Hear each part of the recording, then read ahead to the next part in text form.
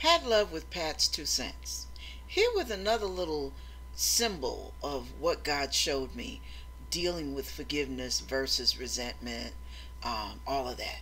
Now, what God showed me while I was finishing the last video was a hammer and a nail. Now, imagine someone tells you, let's imagine I tell you, I tell you what I want you to do is go over to that wall. See the wall where the clock is?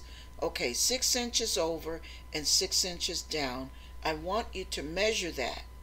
And I want you to hammer a, uh, you know, I want you to hammer a nail, about a, a three inch nail. Has to be yay thick and all of that. I want you to hammer a nail into that wall. And when you hammer the nail, make sure the nail only sits out about that far from the wall. And the reason I have you doing it six inches over and six inches down is because there's a stud. And when you go down, it'll balance out everything else on the wall. So I want it to really be a strong hold because I'm going to hang something heavy on it. What are you going to do? First thing you're going to think is, where do I get the hammer?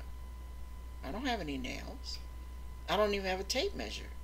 How did they expect me to do this? I got to go in a little bit. I don't have time to go to the store and buy all that. Okay, so now if I were God and I knew your mind, the first thing I would say is, Oh, did you say you needed a hammer? Here you are. I have one for you. Did you say you needed that nail? I have just the nail. Now all you have to do is hammer. But first, you need to measure. So here, here's the tape measure. When you get done, you will have everything you need to get that job done. And I will reward you. Now, when you get through getting it done, you will have the inner satisfaction of, wow, I did a good job.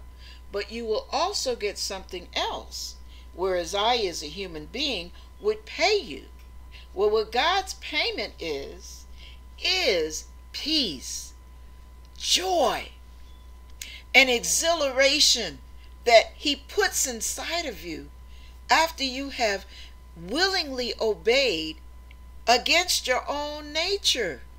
Even against your own will, you were still willing to be willing. Just like the mustard seed of faith. He doesn't require you to be gleeful and joyful about obeying. The joy comes after the obedience. The freedom comes after the obedience. The deliverance comes after the obedience. The healing comes after your obedience. God rewards us. And it, it's so beautiful to experience that touch from God. All the power that all these people that hurt you had over your life for so many years. Gone. Instant freedom. I am telling you this thing works.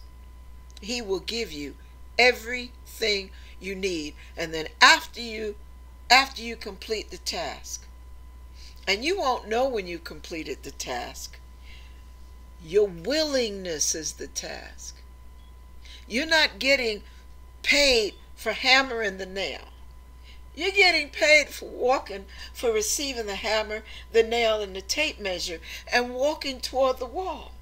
You're getting paid for being willing, for moving towards it. Even if you did a lousy job, you did what you could do with what you had. And that is the kind of obedience God wants. You may not have what it takes to get the job done. But God gives you the power. So if your measurement is off and your strength is off and you can't quite get that nail in, God will stand with you and hold that nail with you and hammer with you. I am telling you, God works with us to obey.